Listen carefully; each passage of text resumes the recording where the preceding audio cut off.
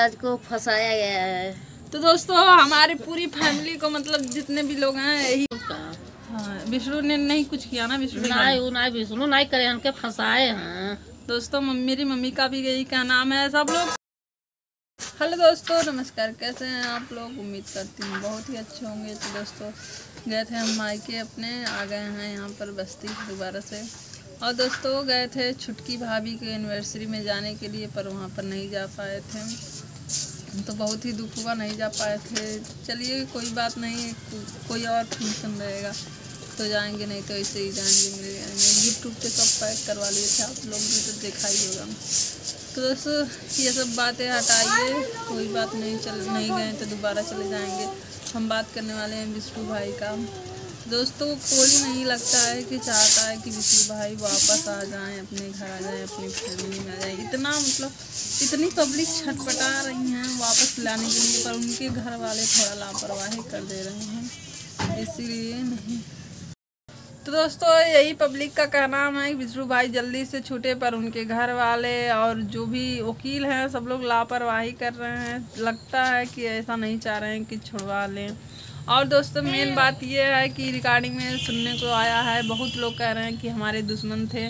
जो लोग मालती के पापा का साथ दिए थे आज वही लोग कह रहे थे कि हमारे दुश्मन है।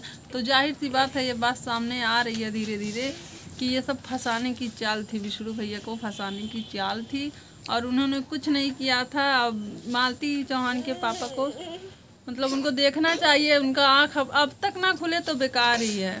अगर आपको देखना चाहिए वीडियो कौन क्या बोला है उसमें रिकॉर्डिंग में आप लोग ने तो सुना होगा कैसे बोला गया है कि विष्णु मेरा बजट दुश्मन था।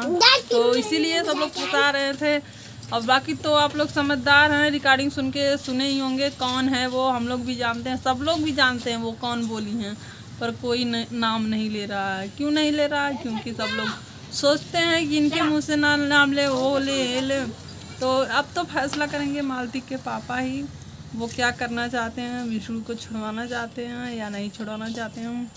देखिए, अब वो छुड़वा लेंगे तो अच्छा ही रहेगा। उनका जो नाती है, उसका भविष्य बन जाएगा। अगर नहीं छुड़वाएँगे तो उनका नाती दर दर के ठोकरे खाएगा। देखते हैं क्या करते हैं वो। अब मेरी ओर से तो यही है कि छुड़वा लीजिए। आपका दामाद है, घर आए, सुलह सपाटा करिए। और सब लोग मिलके बात करिए और युवराज को उनके पास कर दीजिए क्योंकि एक बाप के साथ ही रहेगा तभी उसका भविष्य अच्छा होगा। और दूसरे के पास कब तक रहेगा वो बच्चा?